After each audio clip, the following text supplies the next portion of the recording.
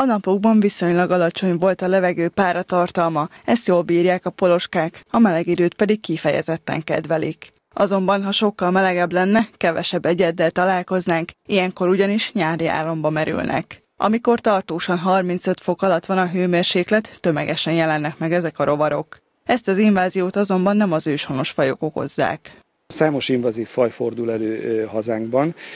Némelyikük kifejezett hóhányó, tehát mezőgazdasági károkozó, és nyilván a személyes komfortunkban is diszfunkciókat okoznak. Némelyikük azonban nem különösebben veszélyes, például a Számos fajuk például hársfa, hársfának a magját fogyasztja, ezek nem okoznak különösebb problémát. A vándorpoloska, illetve a márványos poloska az egyik keletről érkezett, a másik pedig déli irányból a klímaváltozással együtt.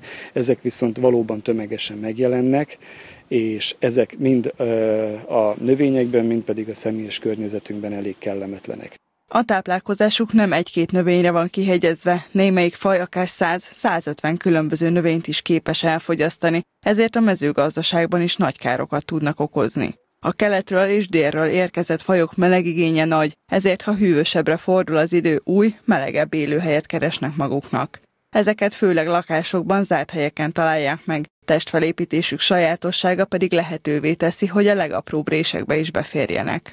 Biológusként nehéz ezt kimondani, de az a helyzet, hogy össze kell gyűjteni őket, nagyon sokfajta módszer van.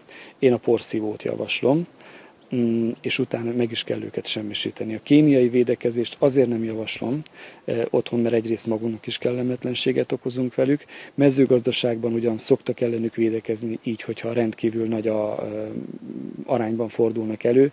Sajnos ezek a toxinok azonban nem szelektívek, és sok más olyan ízelt lábút is elpusztítanak, akik egyébként a természetes ellenségük lehetne, vagy például a méhecskéket is elpusztítja.